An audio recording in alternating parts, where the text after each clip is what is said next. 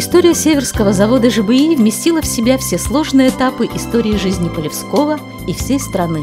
Завод жил тревогами и ожиданиями нескольких поколений полевчан, кто своим самоотверженным трудом создавал славу предприятия. Благодаря ему строился город. Реконструировались два больших завода – Северский трубный и Полевской криолитовый. Прокладывались дороги. В августе 41-го в Северский из Донбасса прибыло 12 поездов с эвакуированными людьми и оборудованием. Прямо из-под носа фашистов ценой героических усилий были спасены производственные мощности, благодаря которым появились новые цеха на Северском металлургическом заводе. 8 тысяч эвакуированных в Полевской смогли разместиться в городе, введя во время войны до 10 тысяч квадратных метров жилья. Четвертое, строительно-монтажное управление, эвакуированное сюда из Донбасса, смогло построить собственную производственную базу. На ее основе в 1945 году было начато строительство механизированного завода шлакоблоков для обеспечения стеновыми материалами развернувшееся строительство. Северский завод ЖБИ начался с комбината производственных предприятий, входящих в состав четвертого стройуправления. Пришла мирная жизнь, а вместе с ней потребность строить жилье.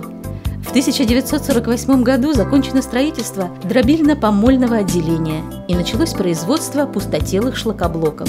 В том же году на заводе приступили к производству железобетонных изделий. В 1949 году строится новый бетонный завод. Все следующие десятилетия завод расширял свои возможности, став, по сути, центром развития строительных организаций города. Поэтому в 1962 году организован трест «Северскстрой». Тогда же, в 1962 году, был сдан в эксплуатацию новый бетонный цех. Тогда сюда пришла работать совсем молоденькой девчонкой Галиной Ивановна Борисенко. Только пришли в 62 его построили, и мы начали уборку завода делать. Делали уборку завода, сушили банки. Это вот все мы занимались этим. А потом уже начали работать. Давали вот бетон везде. Мы все молодые, все, весь коллектив у нас был молодой, сплоченный такой. Не ругались, ничего всегда дружелюбно со всеми. Это особое поколение, которое знает, что такое работать на совесть, чтобы твоя бригада стала лучшей, чтобы бетон и раствор вовремя поступали на объекты.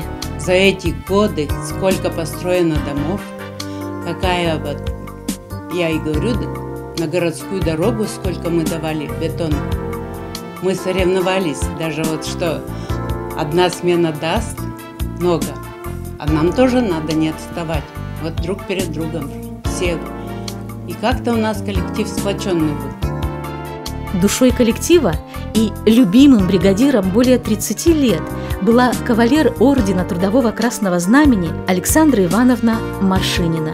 Об этом вспоминает Аделаида Федоровна Норт. Ездили везде.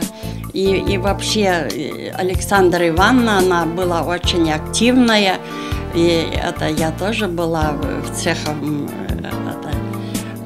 как цехком это работала. Сколько я работала, я 20 лет поработала. Александра Ивановна – человек заводной, беспокойный. К ней всегда люди тянулись и равнялись на нее в работе. Бригада моя была очень большая, больше 40 человек. Дружная, веселая бригада была. Вот на бетон строилась, так я и до конца до пенсии доработала на одном месте. У меня стоит одна печать. Тогда, в 60-е годы, на заводе была заложена главная традиция – относиться к каждому человеку как к самой главной ценности. Они не думали о себе, была бы страна родная, да был бы любимый завод, благодаря которому рос и хорошел город. Менялся Северский завод ЖБИ. Стройка такая шла, так и это – так ведь и город-то ведь это, весь этот зеленый боржа строился, дорога-то, и это, да цеха какие. Мы когда пришли работать-то э, в 62 году, там сзади, где теперь Т2-то, там ведь ничего не было-то, ничего, там пустырь был. А это все ведь наш труд там – на нашем бетоне все брали. Трубный у нас бетон брал, и крилит брал бетон. В 70-е годы, с началом большой реконструкции на Северском трубном заводе, Северский завод ЖБИ стал одним из центров разворачивающегося грандиозного обновления крупнейшего предприятия металлургической отрасли. В 1972 году сдан в эксплуатацию цех фенольного утеплителя. В 1973 году внедрена автоматизированная линия по управлению дозировкой – Тогда была поставлена задача максимальной автоматизации процессов. Надо было наращивать объемы, сокращать простои на производстве, облегчать тяжелый ручной труд. Именно в 70-е годы раскрылся рационализаторский талант Константина Васильевича Антипенко. Мальчишка военной поры, он до всего дошел своим умом, Одаренный от природы, любознательный, он до сих пор гордится своими распредложениями, которые принесли ему всесоюзную славу. Это цех номер один, это ну, сварочный наш. Так, не хватало ни бетона, ничего не хватало. Даже не хватало ничего. И строился город, крупные блоки на вот, блочные дома строили. Так. Я немножко реконструировал вибростол, и сразу три раза увеличилась производительность труда. Хватило всему Северскому заводу, сколько Северстрой строил, столько брали панелей крупных. Вот это и такие работы.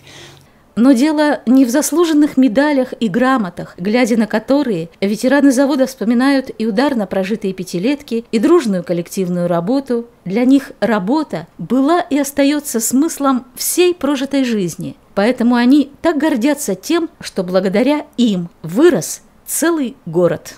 Пятилетку выполняли, наши задания выполняли, план выполнялся. У нас не было такого случая за 30 лет, чтобы завод ЖБИ наш не выполнил государственного плана.